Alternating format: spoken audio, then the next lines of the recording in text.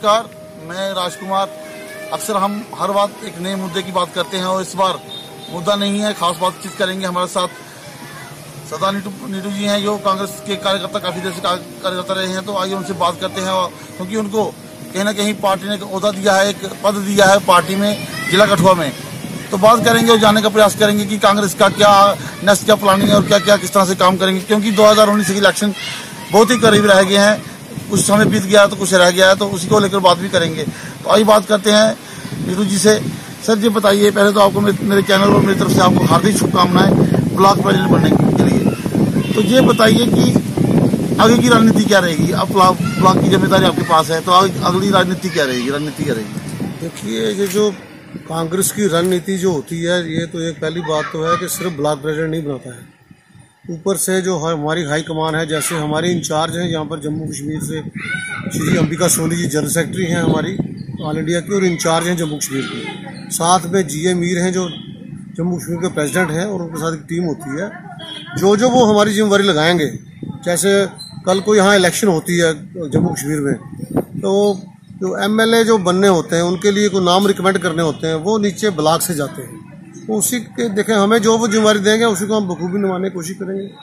लेकिन देखा जा रहा है कि जिस तरह से अब कांग्रेस का अपना एक मतलब वर्चस्व सामने आ रहा है बढ़कर, कहीं ना कहीं कांग्रेस आगे बढ़ने की कोशिश कर रही है। क्योंकि पहले देखा जा रहा था कि तीन साल, तीन वर्ष पहले चुप रही है कांग्रेस।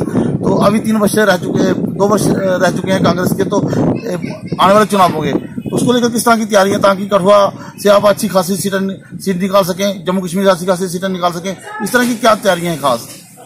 देखिए, पहली बात तो यह है कि कांग्रेस एक सेकुलर पार्टी है और हम जब भी इलेक्शन लड़ते हैं तो इसी मुद्दे पे लड़ते हैं कि हिंदुस्तान में भाईचारा कायम रहना चाहिए, हिंदू, मुस्लिम, सिख, ईसाई, सब आपस में भाई भाई इसी के ऊपर हमारी जो विचारधारा चलती है, उसके बाद डेवलपमेंट की बात होती है, उसके बाद आम आदमी की बात होती है।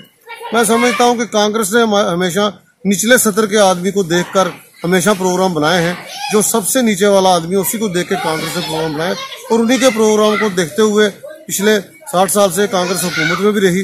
और आने वाले दिनों मुझे लगता है ये जो खोखले इन लोगों ने वादे किए तीन साल से जो इनकी सरकारों का हाल है, आप देख रहे हो यहाँ पर भी और सेंटर में भी जो हो रहा है, मुझे लगता नहीं आप ये टिक पाएँगे जल्दी। हालाँकि आप मौजूदा सरकार की पार्टी से नहीं आते हैं, लेकिन मैं एक प्रश्न ज़रूर पूछना चाहूँगा। क्या लगता है कि 2019 के बाद फिर से लोगों के अच्छे दिन आएँगे? मुझे लगता नहीं अच्छे दिन आप किस हिसाब से बोल रहे हैं, जो पिछले दिनों ये बोल रहे थे एक टाइम था तो अटल बिहारी वाजपेयी ने एक नारा दिया था शाइनिंग इंडिया तो इन्होंने दे दिया है पता नहीं, एक और नारा। तो हाँ सबका साथ, सबका विकास विकास आप देख रही हो, जो ये कर रहे हैं, अपना ही कर रहे हैं उस वक्त से। पिछले दिनों आपने देखा होगा, यहाँ असेंबली में इन्होंने सारे मिनिस्टर अपने चेंज कर दिए। इनका क्या विकास होगा, इन्होंने लोगों के लिए क्या सोच रखा है? मुझे लगता नहीं इन्होंने लोगों का बेड़ा गर्क करना है इन्होंने बस। देखा जा रहा है कि 2014 के बाद सबसे जो गंभीर मुद्दे थे इस राज्य में। चाहे वो पीएचई के डेली विजर का हो, चाहे वो आंगनबाड़ी जो आज मौजूदा समय में आंगनबाड़ी रोज नब्बे दिनों से ऊपर अपने मांगों को लेकर बैठी और मौजूदा भी समय में जो विकास बोर्ड की, जिला विकास बोर्ड की मीटिंग हुई थी, उसमें भी उन्होंने काले झंडे दिखाए थे। तो क्या इन मुद्दों को लेकर आप आगे बढ़ेंगे ताकि पार्टी को जीत मिल सके? मेरे ख्याल में हमेशा ही जब भी हमारी सरकार हुकूमत में रही, पिछली बार जब हमारी हुकूमत थी तो पीएचई वालों का जो मसला था, हमने हल किया था, मुझे याद है। और हमारी गवर्नमेंट में मंत्री थे, उन्होंने इनको बुलाकर इनके लोग पक्के भी किए थे। और आंगनबाड़ी का मसला अभी नहीं के टाइम उठा है, हमारे टाइम तो कभी ऐसी बात हुई नहीं। अब इनको देखना चाहिए क्या करना है, नहीं तो देखिए, ये जो पब्लिक है, ये सब जानती है। और पब्लिक ही इनको हीरो बनाती है, पब्लिक ही लोग, जो लीडर को ज़ीरो बनाती है। लोग, पब्लिक इनको सबक सिखाएगी और बताएगी कि इनका क्या हाल होने वाला है। आज आप कठुआ से ब्लॉक प्रेसिडेंट बने हैं। बहुत बड़ी जिम्मेवारी आपको, आपकी पार्टी ने दी है, हालाँकि विपक्ष में बैठी हुई है।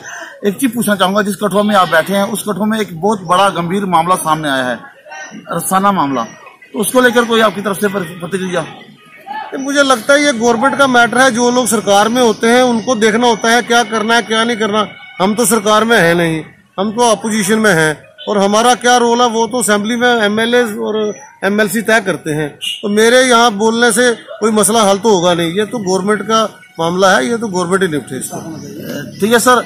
मान लिया कि ये सरकार का मामला और सरकार ही देखे इसको। लेकिन एक जो मांग की जा रही है आम लोगों की तरफ़ से, मैंने देखा था कि इस पार्क में मैं लोगों से विचार लोगों के विचार जानने के प्रयास किया था। कठुआ कोर्ट के सामने भी लोगों का विचार जानने का प्रयास किया था अपने चैनल के माध्यम से। तो आज आपसे भी ये पूछना चाहूँगा कि क्या सीबीआई जाँच को लेकर आप कितने, आपकी तरफ़ से क्या कहना है? तो मैं आपसे बता रहा हूँ कि ये जो मामले होते हैं ना, ये गवर्नमेंट का मामला है, जो अगर कोई सीबीआई इंक्वायरी कराना चाहता है तो उसको असेंबली के अंदर जाके बात करनी चाहिए। यहाँ बाहर बैठ के हमारे बोलने से क्या होएगा? जो लोग हमारे चुने हुए नुमाइंदे हैं, उनको देखना चाहिए ना, वो क्या कर रहे हैं, वो क्या लोगों को यहाँ गुमराह कुछ और कर रहे हैं, अंदर कुछ और बोल रहे हैं, बाहर कुछ और बोल रहे हैं। उनको पहले तय करना चाहिए कि वो लोग चाहते क्या है। एक सबसे अहम बात देखी गई थी, जब ये मामला सामने आया था तो पार्टी ने कुछ चेहरे भी बदले थे पार्टी में, अपनी पार्टी में मौजूदा सरकार ने। तो क्या लगता है उससे जो इस समय जो स्थिति है, जो राज्य सरकार की, वो संभल जाएगी जहाँ उससे भी बदतर हो जाएगी? देखिए, ये लोग ज़्यादा बेहतर जानते हैं कि इन्होंने क्या किया, कैसा बखेड़ा खड़ा किया हुआ इन लोगों ने।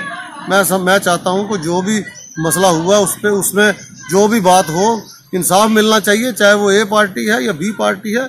उससे हमें यह नहीं है कि कोई एक पार्टी को सजा हो जाए और एक पार्टी को ना हो। हम चाहते हैं कि इंसाफ हो। अगर लड़की मरी है तो इंसाफ होना चाहिए। अब ये गवर्नमेंट ने देखना वो कैसे इंसाफ करवाती है, क्योंकि इन लोगों की गवर्नमेंट हमारी तो है नहीं है। हम इस पर क्या जवाब देंगे?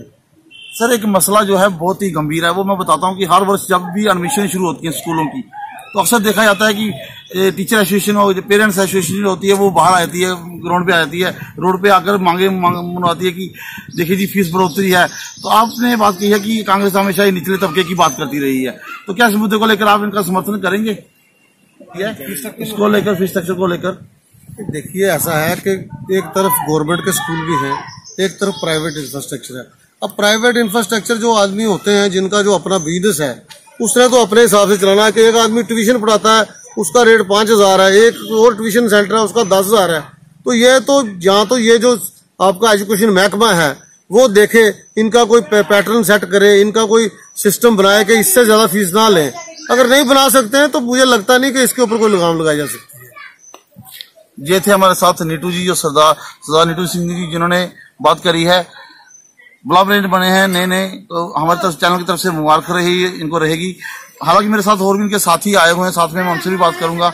नगरी से हमारे साथ सतीश जी हैं, डॉक्टर जी, जो एक मेडिकल स्टोर चलाते हैं, लोगों की सेवा करते हैं, दवाइयों के माध्यम से।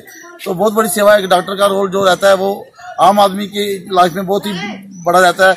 तो आइए बात करते हैं। आपको पहले तो मुबारक हो कि आपकी पार्टी के नीटू जी एक ब्लॉक प्रेसिडेंट बने हैं। उसके लिए मैंने सबसे पहले आपको हार्दिक शुभकामनाएँ, क्योंकि आपकी पार्टी के कार्यकर्ता रहे हैं। ये बताइए कि नगरी से आपकी तरफ़ से क्या प्रयास किए जा रहे हैं ताकि, अब नगरी में भी ब्लॉक सुना मैंने कि सतपाल भंडारी जी बने हुए हैं। तो आप नगरी से आए हैं, नगरी से क्या प्लानिंग है आपकी आपकी पार्टी की ताकि वहाँ पर बेहतर कार्य किया जा सके और आने वाले समय में चुनावों में अच्छे वोट लिए जा सकें? जो भी इस वक्त ब्लॉक प्रेसिडेंट बने हुए हैं, मैं, मेरी तरफ़ से उनको ढेर सारी शुभकामनाएँ। और ये जो हमारी पार्टी है, कांग्रेस पार्टी और मीर साहब हैं, उन्होंने जो ब्लॉक प्रेसिडेंट बनाए हैं, बड़े अच्छे बनाए हैं, और मुझे लगता है कि आने वाले चुनाव में ये बेहतर प्रदर्शन करेंगे और कांग्रेस को मज़बूत करेंगे। थे डॉक्टर सतीश जी, जिन्होंने कहा कि आने वाले समय में हमारे जो ब्लॉक प्रेसिडेंट नए बने हैं, वो अच्छा प्रदर्शन करेंगे और बेहतर प्रदर्शन करेंगे, ताकि आने वाले समय में जो भी विधायक जहाँ एमपी खड़ा होता है, उसको अच्छे अच्छे वोट मिल सके और अच्छी वोट से जीत बढ़ हासिल कर सके। मैं राजकुमार, कैमरामैन संघ प्रभाष के साथ, कठुआ, धन्यवाद।